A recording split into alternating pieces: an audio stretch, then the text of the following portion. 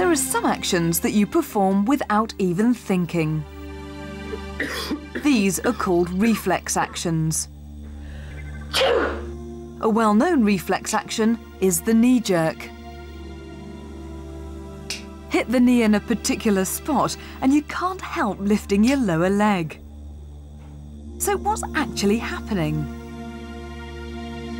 First, stretch sensors in the muscle detect a sudden change. A nervous impulse travels along a nerve to the spinal cord.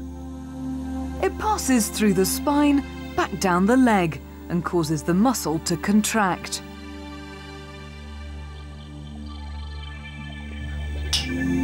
Electrodes on the thigh pick up any electrical activity.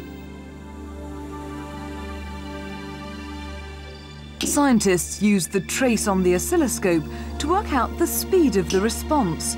It takes just a 30th of a second.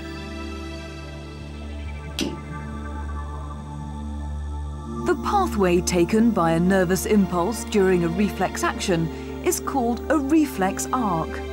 The impulse travels in an arc through the spinal cord. It bypasses the brain, which means you don't even think about it.